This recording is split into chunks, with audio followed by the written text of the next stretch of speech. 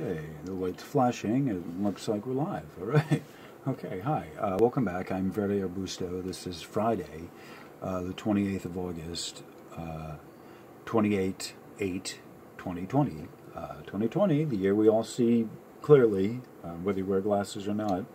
Um, all right, so I'm picking up this lesson where I kind of had left off before, so I can move into the next part, which uh, comes after that. um, part B of, of this. So, this using the data from Tomsk, Tomsk University, um, I'm uh, excuse me, using the data from Tomsk. I'm, I'm using this as an educational uh, lesson to explain what the frequencies are a little bit better and the quality a little bit better and the amplitude a little bit better. Um, and so, uh, um, and so, um, so, Maestro. Oh, ah, yay, I like when that doesn't happen. All right. All right. Just to get things out of the way and to organize the desktop. All right. So, all right. So, I love you when you don't do that. All right. So, this is our working model. And if I'd have actually thought I was going to uh, do this, I probably would have taken a screen capture of this. Um, but you can see what our amplitude is on the chart relative to the, our, our, our teaching diagram of the standing waves. Okay, these are the modes. Okay, so going back where we were, just the last video, this is T1 is amplitude 1, T2 in the blue is A2 in the yellow, T3 in the red is A3 in the red, which matches up in color, and T4 in the green is A4 in the green. Right?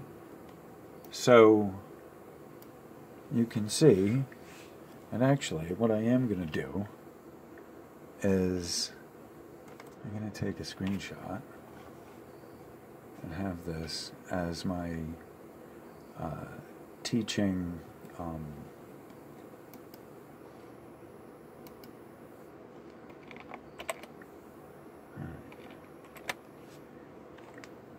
this will be um,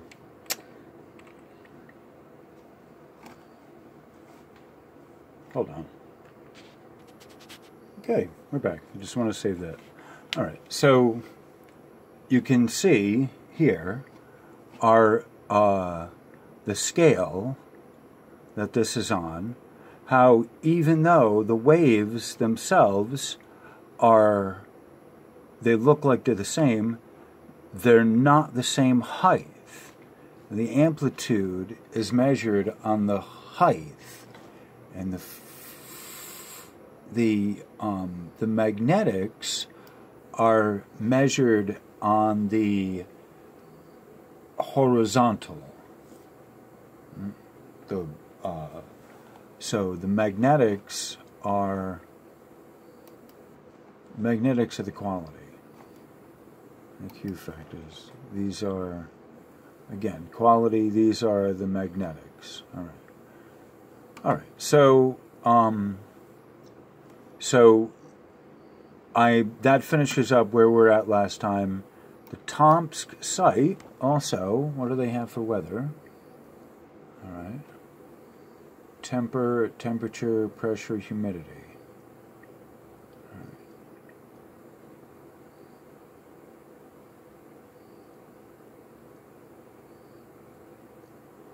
Okay. Temperature, pressure, humidity. I'm not sure what that, where the data is there. All right. Electromagnetic, you saw that. Ionospheric data. Alright. Let's see what the ionos ionospheric data is doing. Nothing. Nothing it's doing. Alright. Last ionogram. There we go.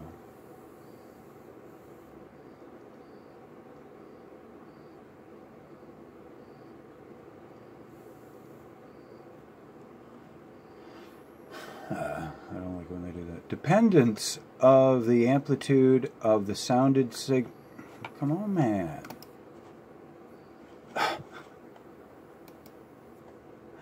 All right, you're only gonna f with me. All right. Dependence of the amplitude of the sounded signal on the frequency and the effective height. The amplitude intensity uh, gradations are shown on the right of the graph. The time on the ionogram corresponds to Tomsk, uh, which is UTC plus 7. All right. All right, so km would be kilometer. There we go. That's size. Kilometer, km. That's the height. All right. That's the frequency down here. Pretty sure. Yeah, so the frequency and the height. All right. So that's what that's telling you. Oh, the, those are amplitude, the dependence of the amplitude of the sounded signal, right? Right. Okay, critical frequencies. What are they telling us here? Hmm. All right. Oh, that's interesting. Critical frequencies, dependencies of critical frequencies of the ionosphere on local time. All right, so what are they telling us here?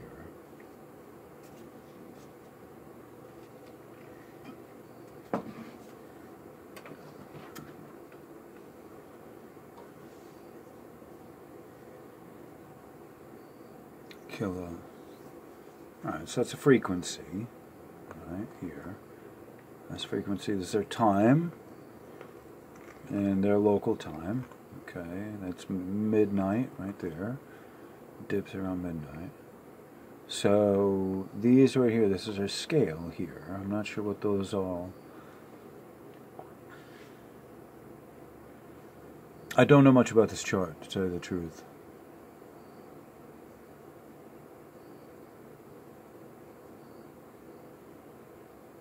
Kilo. This is the the frequencies. This would be mega. This and this is of the ionosphere. All right. So that's not the Schumann resonances here of the planet.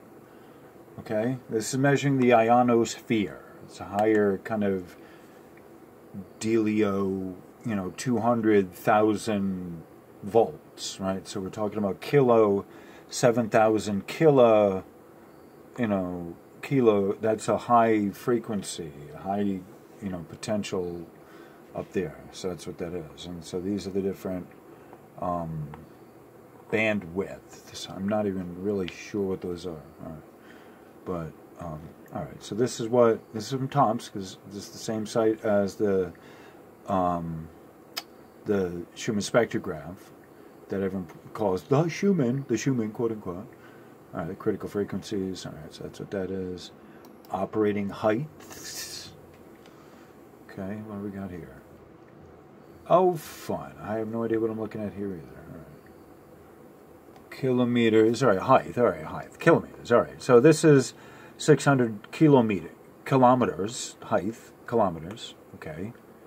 These are dependencies of the effective heights of the ionosphere. So the height of the ionosphere at 10, right, it's 10 o'clock in the morning, 8 to 10, right, the ionosphere, height of the ionosphere spiked. You see, significantly spiked, and broke apart. That's not, probably not, a, well, I don't know what kind of data malfunction or whatever, because there's something here uh, these ones were online. These two were online here. And this, this one, this one. Modes. These are modes. Different modes of measuring the height of the ionosphere. Okay. Alright, magnetic field components. Did I look at that?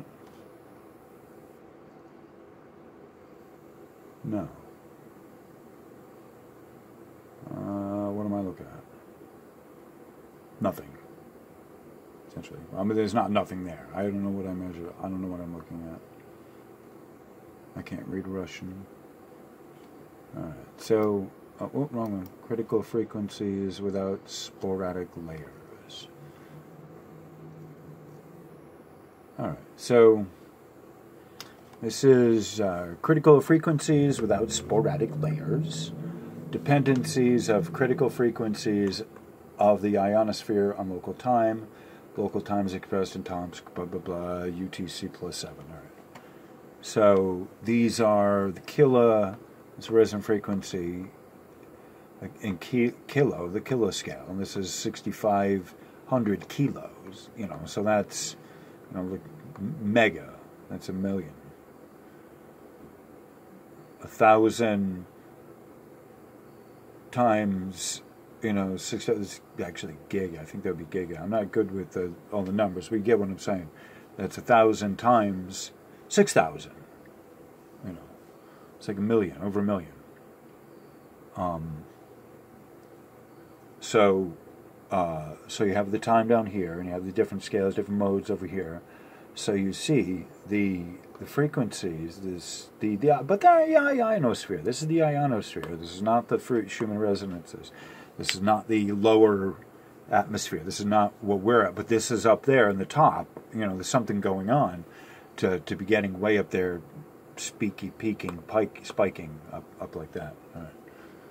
All right. So, all right. Oh, the World Database. That's another one. I have no idea what I'm looking at with the World Database. All right. But it's fun to look at. Uh, so you see,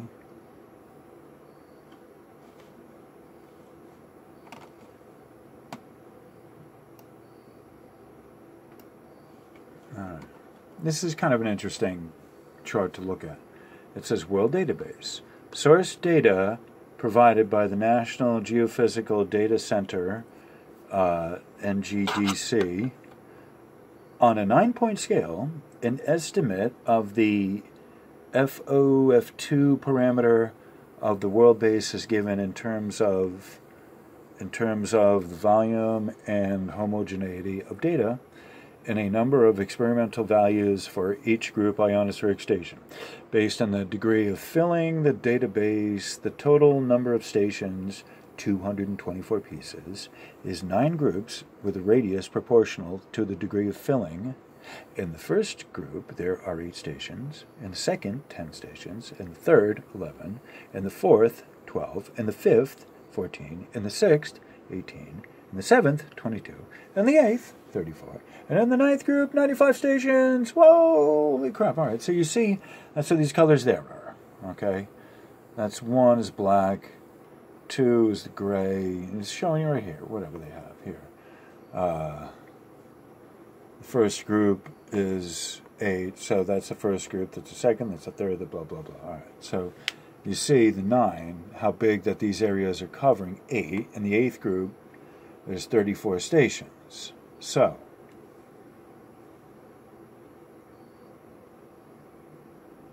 That's the world, the world database. Okay. So I'm not sure of this, how much of this gets transmitted to Tomsk University. Um, this is simply a database, right? Doesn't say that we get all information from the all these uh, these folks, these kind, wonderful folks doing this, right? I mean, this is South America, you know, all this. That's way in that island over there, you know I'm saying? Arecibo. If I'm not mistaken, this this would be like Arecibo, I think. This. Oh, man. All right. Okay. All right, see? That's why I check that out occasionally, because it does that. It likes to kind of fog up on me sometimes. All right, so um, all right. I did the. Oh, come on, man. That's the problem with with doing that. Um, with the translate is it want, wants a better translation. Insecure. No, I don't want a better translation. It's a fine. I'm happy with this. I'm gonna go away. Have have lunch or something. All right.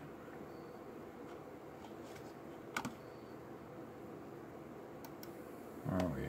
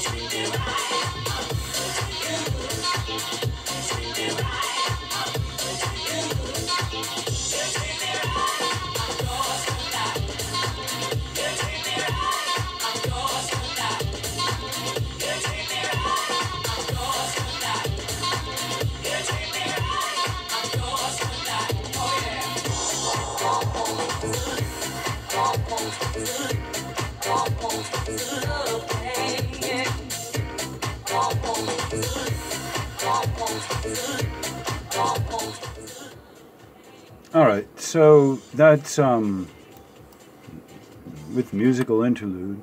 That's a um, kind of a quick go through of uh, news from this is uh, spaceweatherlive.com. Um, I'm not going to read all of the news, but they're they're updating you on the coronal. Uh, there's a coronal hole that's facing the Earth, and when we have a coronal hole, we get blasted with uh, solar winds. And so um, I got to say, if there's any of you who okay,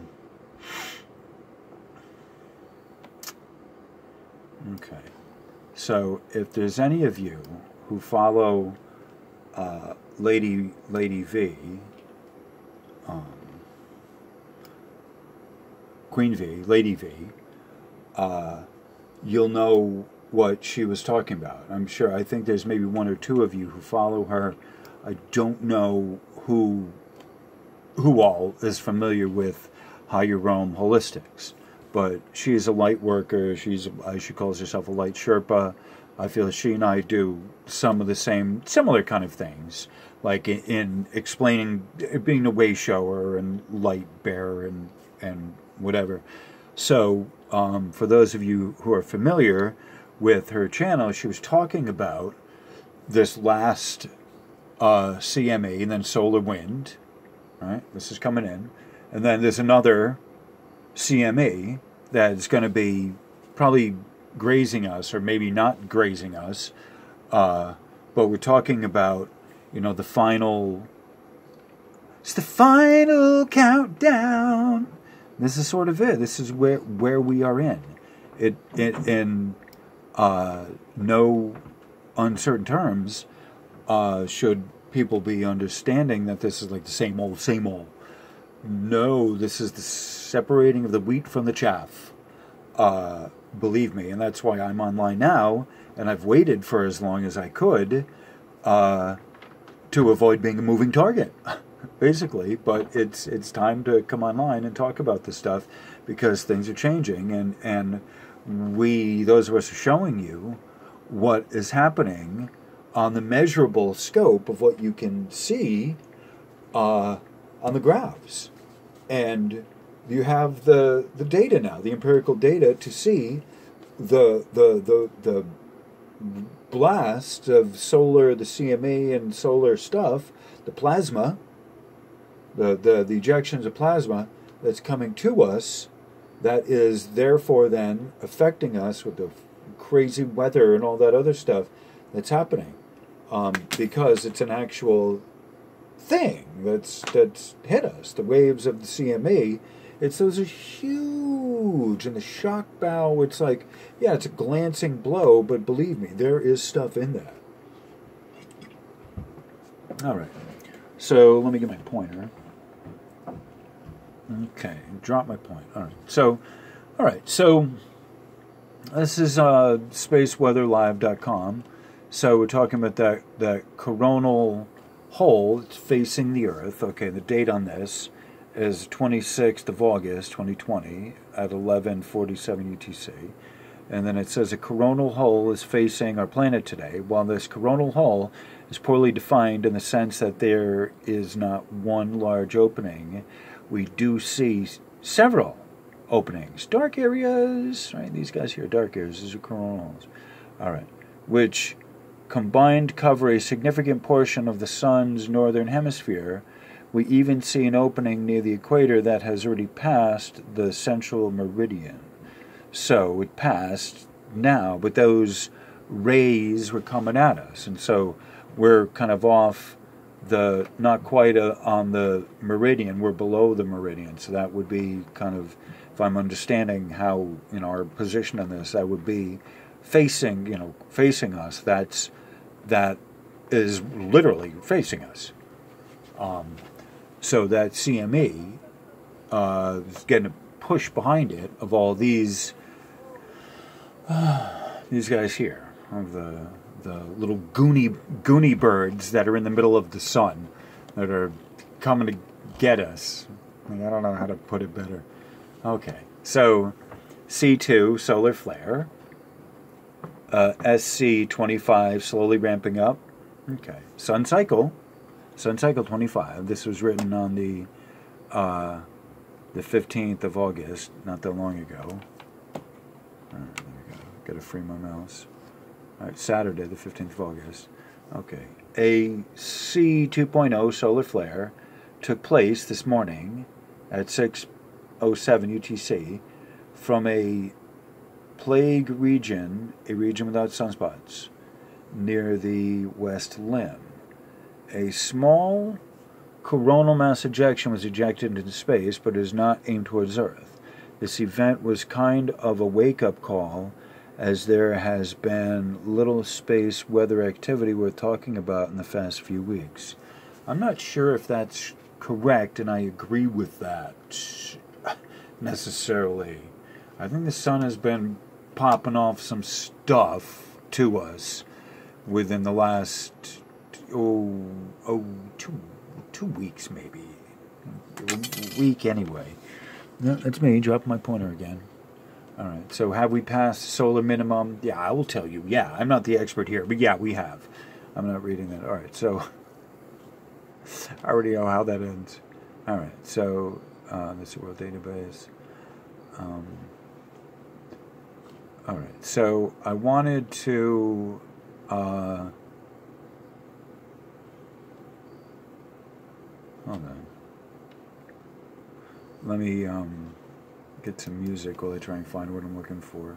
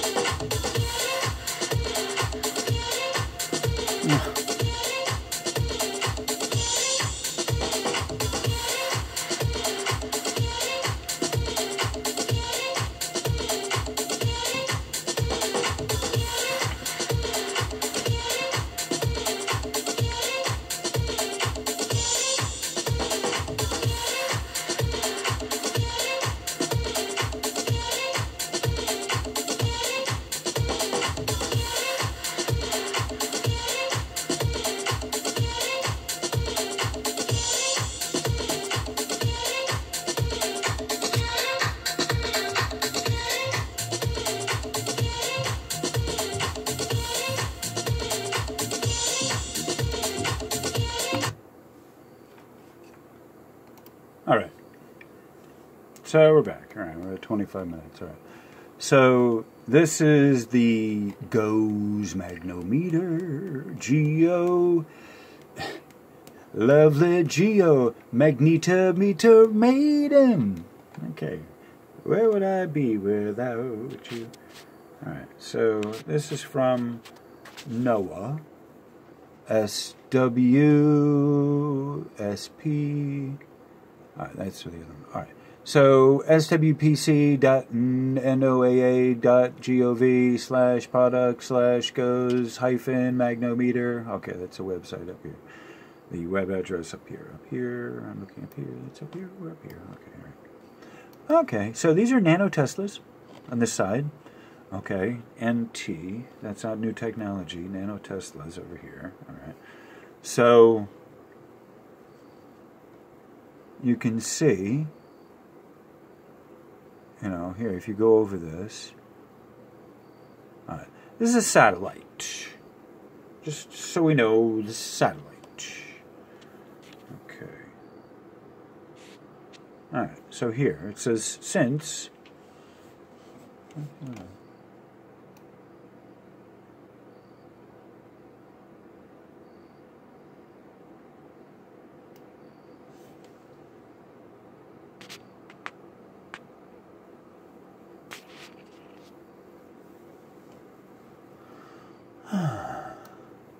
You all are wonderful. Thank you for being here. I appreciate you all being here and your time and your attention to learning more about the Schumann resonances with me. Um, all right, so uh, as everybody says, since we're learning about the GEO's uh, satellite here, GOES system. All right, so since 1975, each of NOAA's no, geostationary operational environmental satellites, GOES, geostationary operational environmental satellites, GEOs, located in Earth's geographic equatorial plane, approximately 6.6 Earth radii from the center of the Earth, have carried magnometers to monitor the geo magnetic field and its variations. Typically, there are two GEOs, uh, GOES, operational satellites, GOES East, located over the east coast of the U.S., and GOES West, located over the Pacific, just west of the U.S. mainland. At times, though, data are available from more than the two prime operational satellites.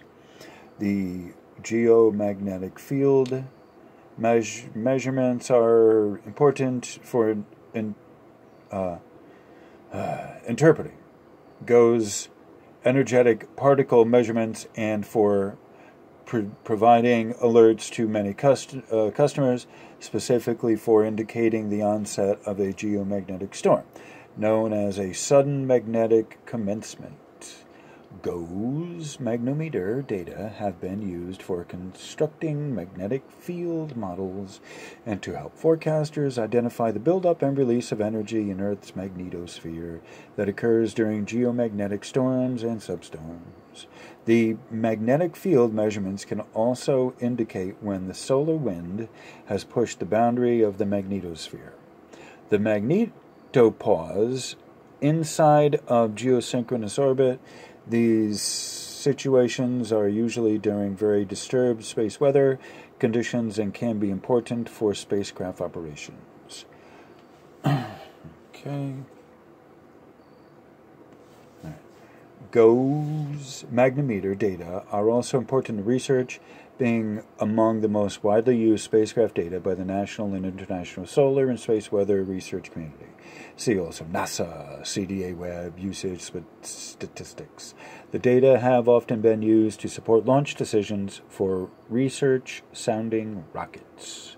The measurements can also be used to validate large scale space environment models of the coupled magnetosphere and ionosphere. SWPC will implement such a model in the near future. All right, okay. It's a lot. It's a lot impacts. Ah, okay, good. Now it's there. I'm not going to read all this, but I am going to HF radio communications. Sounds like fun. What's that say? Ah, new page. Oh, well, that's interesting. Nice picture. All right.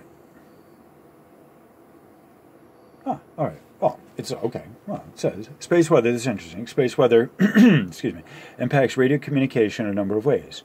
At frequencies in the 1 to 30 megahertz range, known as high frequency or HF, The changes in ionospheric density and structure modify the transmission path and even, excuse me, sorry about that, and even block transmission of HF radio signals completely.